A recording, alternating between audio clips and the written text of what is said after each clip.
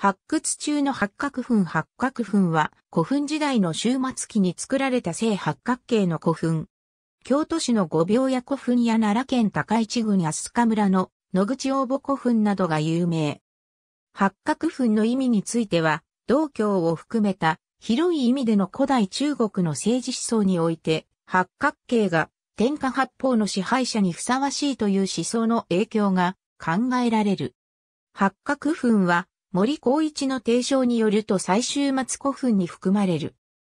即位した大王が祀られている可能性を指摘する学者もあるが、奈良県だけではなく、東京都多摩市の稲荷塚古墳をはじめ東日本など、各地で少数ではあるが確認されていることから、即位した大王だけを祀るために作られている可能性に疑いを持つ学者も多い。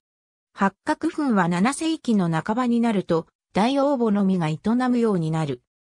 現在知られている限りでは、奈良県桜井市の段の塚古墳、奈良県高市郡飛鳥村の野口王母、一般に文武天皇陵と考えられている奈良県飛鳥村中、小山古墳、それに五秒屋古墳などが八角形平面の墳丘を持っている。7世紀半ば、日本では初めて大王に固有の形式の陵墓が出現したと言える。これらの他に、奈良県高市郡高取町の多馬明神古墳、方形墳の上に八角形の墳丘を作っている可能性のある、飛鳥村の岩八山古墳などが八角形墳の可能性を指摘されている。八角墳は、除名天皇の墓から始まっていると考えられ、日本の大王の墓に固有の形式の陵墓が考え出されたと捉えることができる。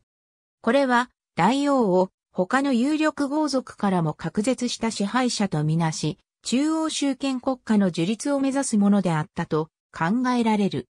この墳形の悲壮者は、記述のように天皇やその近親者と考えられるので、八角形墳は天皇の固有の形式として使用され始めたと言える。上、八角化宝墳の除名量が最も古いと仮定するなら、元は宝墳を基礎に構築されたと推定できるので、6世紀末以降の天皇陵は前方後円墳大型宝墳、上八角化宝墳八角墳と変化したと考えられる。2006年4月19日、大阪府茨木市の桑原遺跡の桑原古墳群で7世紀の埋没群周墳24基を検出した中の1基が八角墳であり、中富の鎌足りの墓の可能性を指摘する声があり、マスメディアでも紹介された。また、2009年から2010年にかけて、奈良県飛鳥村の県後小塚古墳の調査が飛鳥村教育委員会によって行われ、2010年9月、調査成果が公表された。ありがとうございます。